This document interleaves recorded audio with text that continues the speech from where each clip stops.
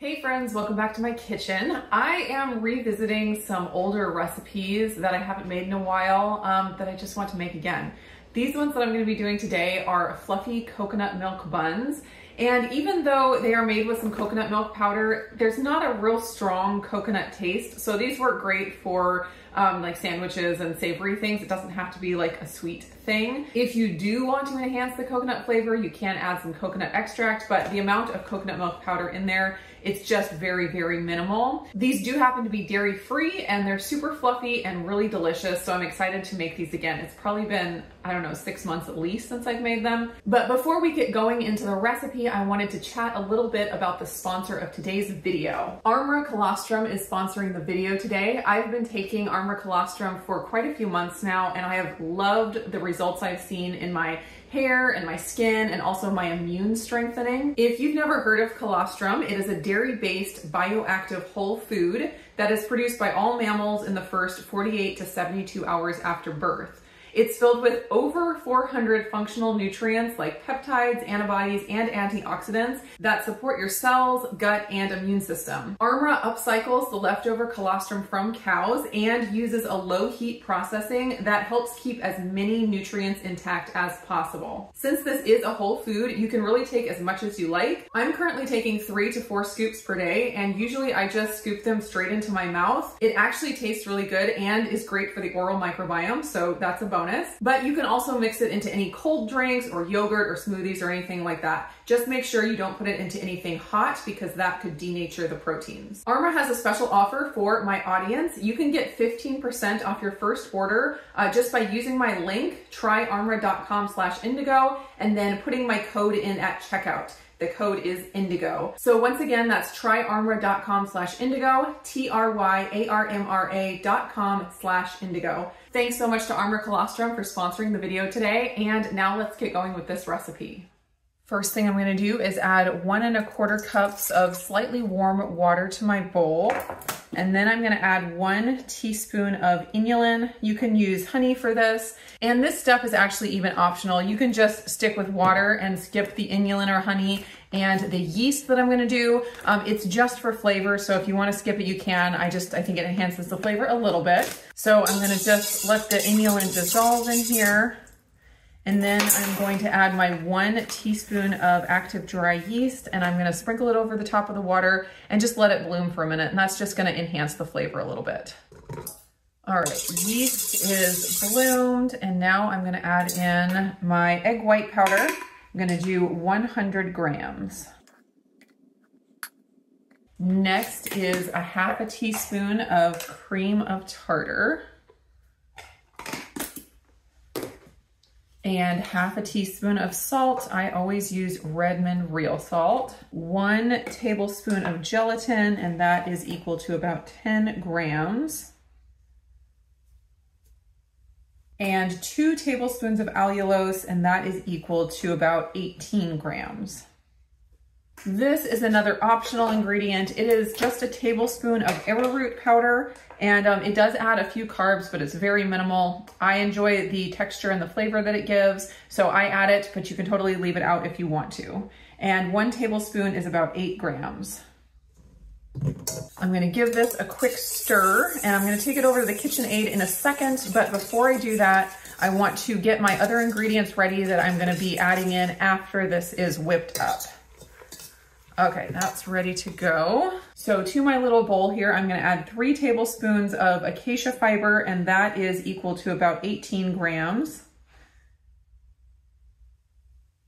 There we go. And then I'm just gonna do six grams or about one tablespoon of the coconut milk powder. And it's amazing how much of an effect this tiny amount of coconut milk powder has on the bread. I experimented with different amounts and this six grams just makes all the difference. It's amazing.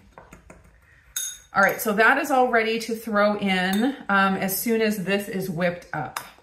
Before I start the KitchenAid, I am going to preheat my oven to 325 Also, I wanted to show you the pan I'm using. I like these silicone bun pans. Um, it gives a real nice texture to the bottom of the buns and then, you know, keeps them in their, their place. Um, but you can, you know, just put it, put the batter onto a pan. I recommend probably spraying the pan or uh, parchment paper or something like that to keep it from sticking or maybe a silicone sheet. I'm also going to spray my pan with avocado oil spray. Um, I go back and forth whether this is necessary or not, but it just puts my mind at ease because um, when stuff sticks to the, these, it's not fun to clean. Um, it's not terrible. It doesn't happen often, but when it does, it's not fun to clean. I'm also going to be using my ice cream scoop to scoop the batter. It just makes it cleaner and easier. But again, not necessary. You can just scoop it with a spoon. I'm going to start the mixer out on low and uh, gradually increase the speed to high to avoid splattering. And then I will whip it for probably like five to seven minutes um, until I get like a nice shaving cream type consistency.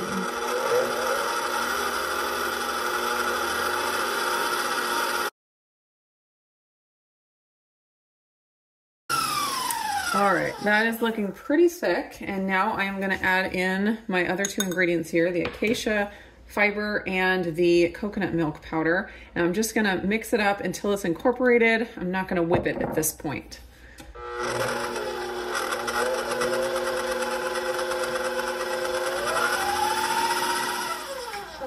All right, that's looking pretty good.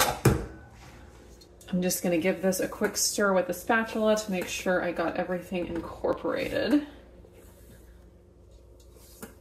And now I'm just gonna, oops, now I'm just gonna scoop this out by scoopfuls into my pan.